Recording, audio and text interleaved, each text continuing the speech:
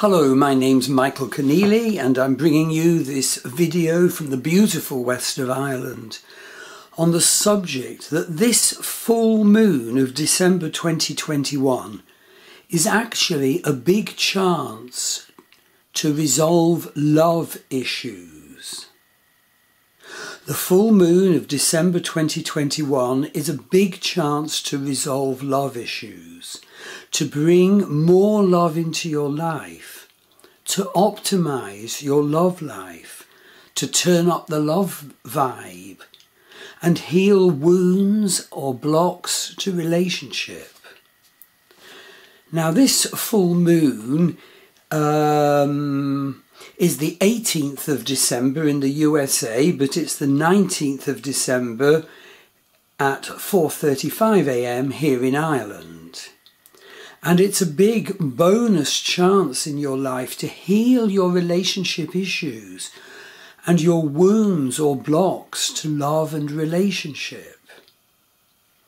This full moon definitely brings in a most valuable time period where we can each of us apply insights and understanding and better communication to identify and share on the matter of our love scripts and our wounds to love and relationship. It brings in a chance when we could lovingly and constructively share on how we relate in our loving relationship and on how we might heal our wounds to love. Remember, out of challenge can come victory. Out of strong challenge can come victory. You are stronger than you think. Now is a time to face into our wounds to love, even to experience them and feel them and use that experience as a portal or doorway to now bring in healing to our love and relationship issues. And if you feel that love issues are a challenge for you or an issue to be dealt with at this moment, I'd be delighted to give you a reading. I join the vastness of Vedic astrology to psychodynamic Western astrology and evolutionary Western astrology, the techniques and resources offered by this combination are superb, so sophisticated. You can get in touch with me for an astrology reading which will include your love and relationship issues. And I do also offer healing journeys to revolutionize our understanding and perception and clarity as to our love wounds and love issues, having indeed worked as a shamanic healer, including in this area of relationships for the past 25 years. My wife, Maggie Pashley, offers wonderful relationship healings online, including heart wall clearing, hypnotherapy, soul realignment, past life healing to create a more healed future life. And the, um, uh, the address of our websites are in the blog post associated with this video, and they are put in the YouTube description below the video. So now let's look what makes this particular full moon an exceptional time to focus on love. You can read on for some detail about the astrological times and degrees of this full moon that is, in fact, so full of possible healing potential if you make the effort to use it in that way. And I show also the astrological aspects and features that are part of the full moon. So, first of all, here are the astrological dates and times and degrees of the full moon. The full moon is at 3 degrees Vedic Gemini in Mrigashira Nakshatra, with the Sun at 3 degrees Vedic Sagittarius in Mula Nakshatra, ruled over by Niriti, the goddess of death and destruction. And in the Western zodiac, that's the Moon at 27 Gemini and the Sun at 27 Sagittarius. And this full moon is on the 18th of December at 23.35 in New York, at 20.25 in Los Angeles, and it's on the morning of Sunday, the 19th of December here in Ireland. And my point is that this particular full moon in Gemini is actually a special and excellent chance for developing our communication, Gemini, communication and understanding, and therefore hopefully out of that healing of our love scripts. If the energy of this full moon is used at its best now and for a month ahead, indeed longer.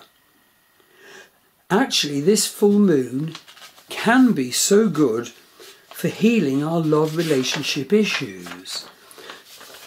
I'm now going to list the astrological factors. First of all, full moon in Gemini ruled by Mercury, so good for understanding, conceptualization, communication, ideally loving, sharing communication.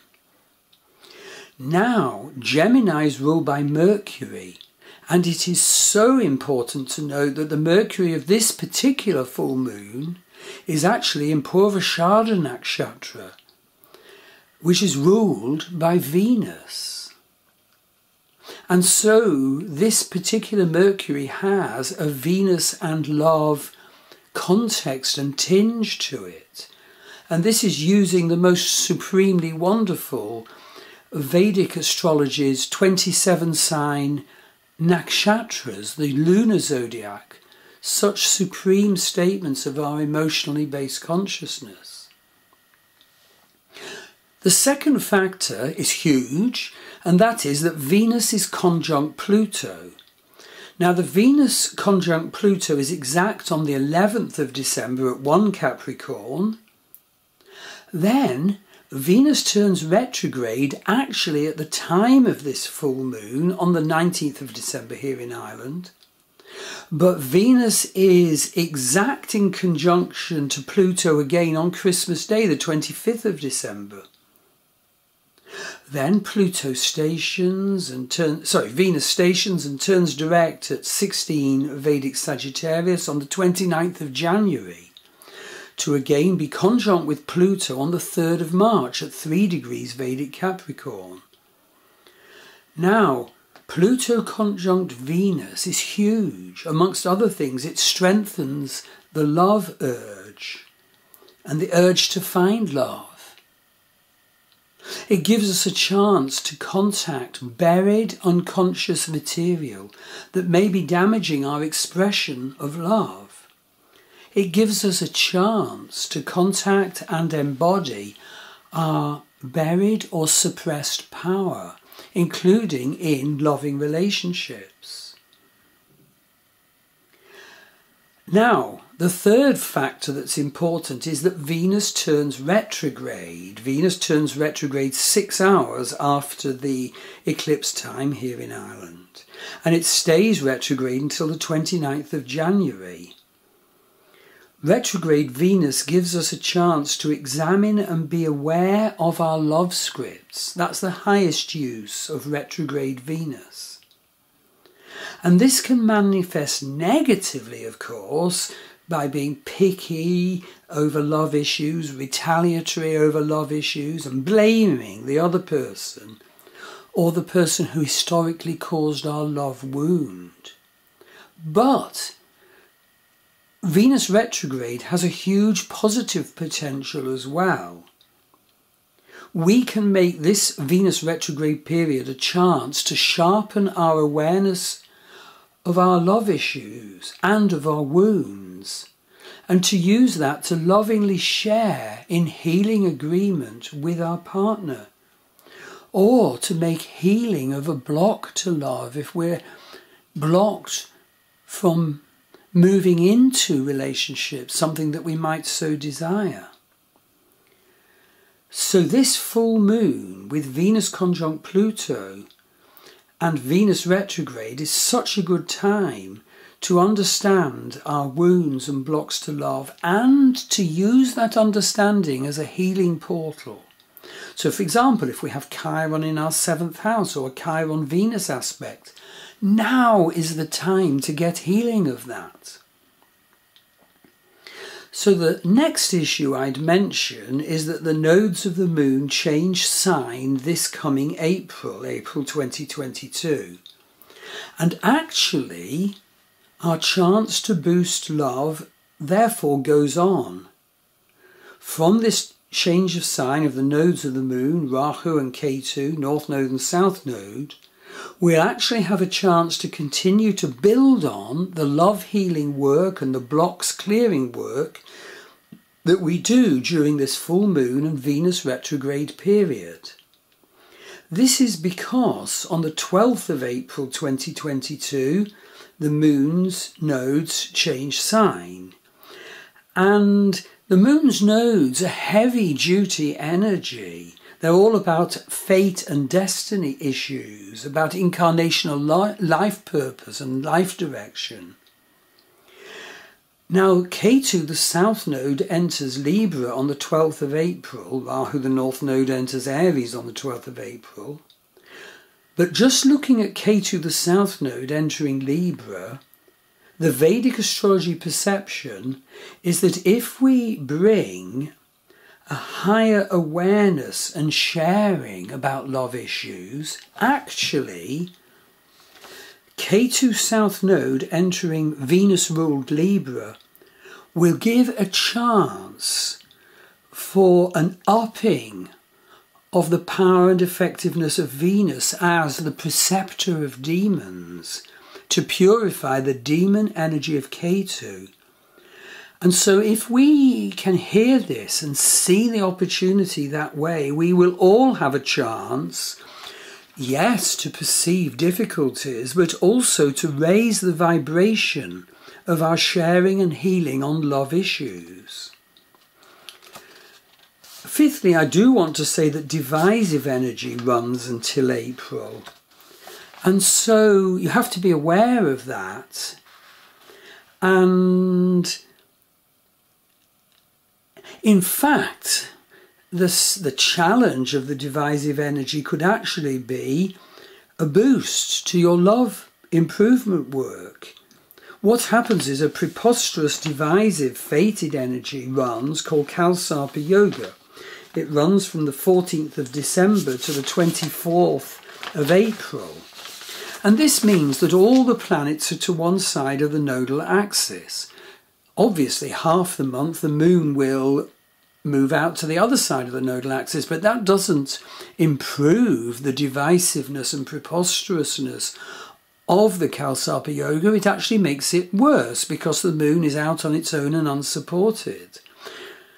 So I just wanted to add that to warn you that this will be a tense time up to April. And to say to you, you know, please hear what I'm saying.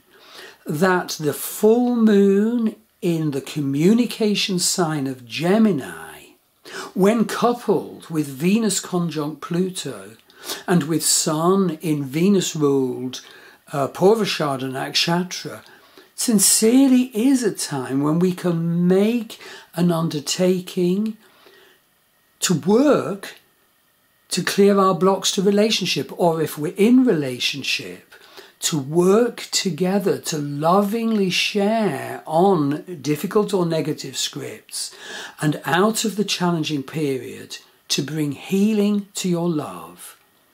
So, go to my Star Wheel Astrology website, go to the buy page, and you can get a reading from me. Go to my wife Maggie Pashley's uh, website, www.maggiepashley.com, where she offers wonderful healing such as heart wall clearing, hypnotherapy, past life healing, etc. For the charts of this eclipse and the early months of 22 that I've been describing, you go to the month pages on my Star Wheel Astrology website where there's ephemeris and lunation charts. And if you want to find out the meaning of the houses in your birth chart, um, go to the special support page on the meaning of houses. So, I hope that you will seize the opportunity, get in touch with me for a reading, and indeed back up work. It would be great to work with you. Thank you.